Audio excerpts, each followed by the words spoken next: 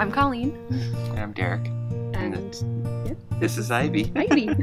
Ivy is just over two and a half. She is a super cuddly, smiley, happy little girl. She was diagnosed with a mitochondrial disease when she was four months old. I had an abnormal ultrasound. They found some structural differences in her brain. They did a bunch of genetic testing. They told us that this was either completely benign and something that she would grow out of, or it was a really rare genetic condition, mitochondrial disease. After she was born, she was super lethargic. She wouldn't eat. She was vomiting all the time. We had a really rough first couple of months with her.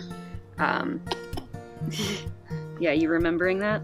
we were told that she likely only had about a year to live, so we decided to make our entire lives all about spending as much time with her as possible. And now, two and a half years later, we've gotten to spend a lot of time with her. Her disease is pyruvate dehydrogenase complex deficiency, meaning that her mitochondria don't produce enough pyruvate dehydrogenase. We're on the dichloroacetate trial with Dr. Sinedo. It's being run out of University of Florida. It's a super simple compound that will hopefully help her utilize the energy that she already has in her body in a more efficient way. And we've seen so much progress in her since we started the trial, and we have no idea if it's just Ivy getting older and doing her thing and being amazing on her own, or if the drug is helping out. We really appreciate everyone we've dealt with the children's.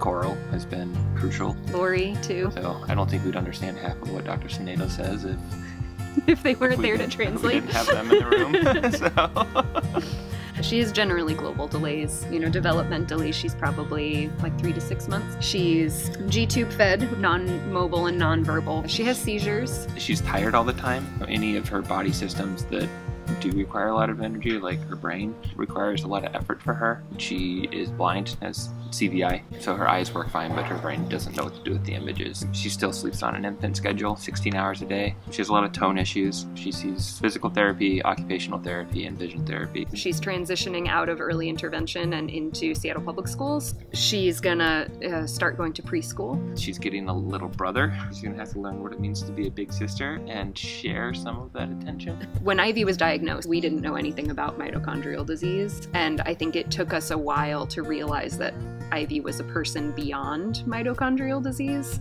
And now, you know, when I think of her and when I look at her, I don't see mito disease, I don't see PDH, I just see like my perfect two and a half year old kid